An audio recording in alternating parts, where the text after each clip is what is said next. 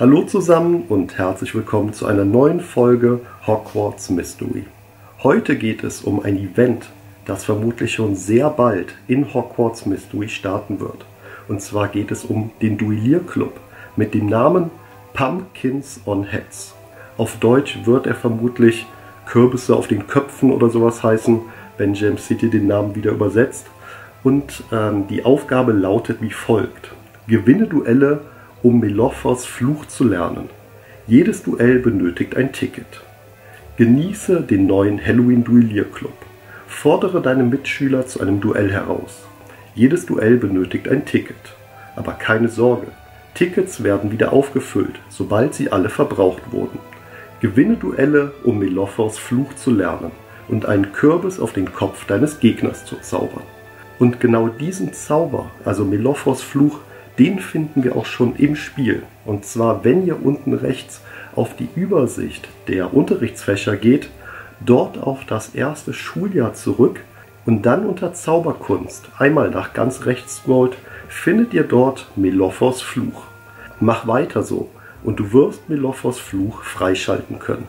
Als Prämie erhält man dann eben diesen Zauber, den man auch in einem Duell verwenden kann. Und zu dem Zauber habe ich noch Folgendes gefunden. Der Melophos-Fluch hüllt den Kopf des Opfers in einen Kürbis. Für den Zuschauer scheint es, der Kopf des Opfers würde in einen Kürbis verwandelt. Der Kürbis kann zertrümmert werden, um das Opfer zu befreien. Oder kann nach kurzer Zeit von selbst zerfallen. Es ist also erstmals so, dass wir in Hogwarts Mystery einen Zauber durch ein Event freischalten können. Und ähm, es wird vermutlich auch nicht auf eine andere Weise möglich sein, diesen Zauber zu erlernen. Und das ist natürlich eine große Sache, vor allem wenn man dies nicht schafft. Mit dem Hintergrund auch, dass der Zauber in Duellen verwendet werden kann und wir noch nicht genau wissen, wie stark dieser Zauber wird. Es könnte also sein, dass dies für zukünftige Duelle sehr, sehr effektiv ist, wenn man eben schafft, diesen Zauber freizuschalten und man dann eben vielleicht einen sehr starken Zauber in der Hinterhand hat, den der Gegner eben nicht zaubern kann. Und hier seht ihr auch schon mal eine kleine Animation, wie das aussehen könnte, wenn der Zauber gesprochen wird und der Kürbis eben auf dem Kopf des Gegners landet. Hier muss die arme Mirula herhalten. Ähm, was ich eben noch vergessen hatte zu sagen, diese Informationen stammen aus dem Quellcode des Spiels. Also das habt ihr euch vermutlich schon gedacht im Discord-Channel zu Hogwarts Mystery sind diese Informationen gestern aufgetaucht und deswegen versuche ich auch schnell, diese hier für euch aufzuarbeiten. Denn neben der Information, dass ein Event kommt, gibt es noch weitere Dinge. Zum Beispiel war es eigentlich so geplant, dass das Event am 16. Oktober online geht. Und es sollte dann bis zum 18. Oktober gehen. Dies wurde aber kurzzeitig von Jam City geändert, vielleicht um das Event jetzt ans Ende dieser Halloween-Event-Reihe zu legen, sodass der Duellierclub mit diesem Zauber den Abschluss dieser Eventreihe zu Halloween dann bildet. Zudem wissen wir, dass wir zwei Tickets erhalten werden, die wir im Duellierclub dann für die Duelle verwenden können.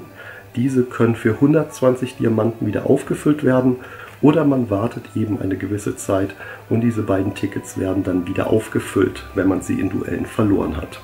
Die Belohnungen sehen wie folgt aus. Für vier gewonnene Duelle erhalten wir 300 Goldmünzen, für 8 10 Diamanten, für 12 zwei Notizbücher, für 16 eben den Zauber Melophos Fluch und für 20 gewonnene Duelle dann nochmal 6 Notizbücher. Es kann sein, dass hier noch eine Variation hinzukommt. So war es ja bisher bei allen Halloween-Events, dass nicht alle Spieler dieselben Belohnungen erhalten haben. Ich gehe davon aus, dass so etwas auch hier dann noch beim Duellierclub vielleicht dann im Nachhinein noch in den Quellcode hinzugefügt wird. Und äh, neben all diesen Informationen eben zu dem Event an sich gibt es auch noch weitere Informationen, die wirklich sehr, sehr interessant werden könnten. Und zwar wurden Informationen zu den Gegnern gefunden gegen die wir im Duellierclub antreten müssen. Wie ihr ja sicher wisst, handelt es sich da nicht um echte Spieler, sondern nur um Spielerprofile, die eben vom Computer gesteuert werden. Und da wurden eben auch Informationen gefunden, wie diese Gegner wahrscheinlich agieren werden. Ich habe euch diese beiden Listen unten verlinkt. die ich jetzt gleich hier zeigen werde, möchte euch aber nochmal grob erklären, was ihr in diesen Listen für Informationen findet.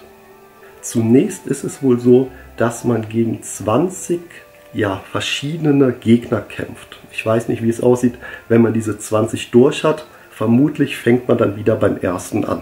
Aber darum soll es nicht gehen. Wir schauen uns jetzt mal den allerersten Gegner an.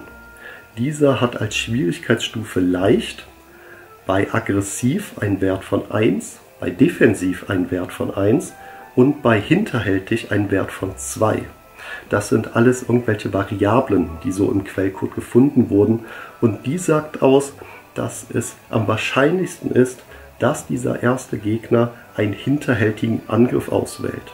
Das bedeutet, wenn ihr dann im Duellierclub gegen den ersten Gegner antretet, wählt ihr eine aggressive Haltung, da dieser sehr, sehr wahrscheinlich eine hinterhältige wählt und ihr dann eben gewinnt.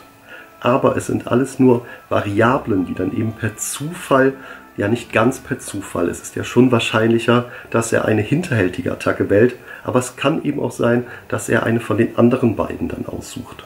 Beim zweiten Gegner ist es so, dass er bei aggressiv einen Wert von 2 hat, bei defensiv und hinterhältig einen Wert von 1. Somit ist es am wahrscheinlichsten, dass er eine aggressive Haltung wählt, wo ihr dann eben beim zweiten Gegner eine defensive Haltung zu wählen habt. Ich denke, ihr habt das Prinzip verstanden. Beim Duellierclub geht ihr also diese Liste durch, schaut beim jeweiligen Gegner, welche Haltung er am wahrscheinlichsten wählt und wählt dann eben die Haltung, mit der ihr gegen ihn gewinnen würdet. In der zweiten Liste findet ihr dann noch eine Übersicht, welche Zauber der Gegner vermutlich wählt.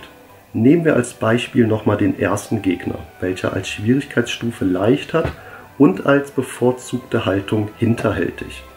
In der zweiten Liste schauen wir dann bei hinterhältig und in der Zeile leicht.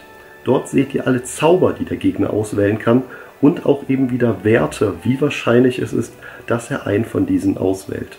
Und hier seht ihr, dass Rictus Sempra einen Wert von 5 hat.